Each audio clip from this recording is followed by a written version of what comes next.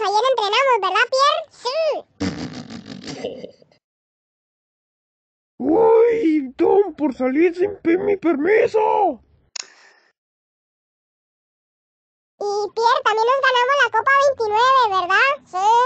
Sí. Es más bien, yo mejor cancelo los partidos de ustedes. Ah.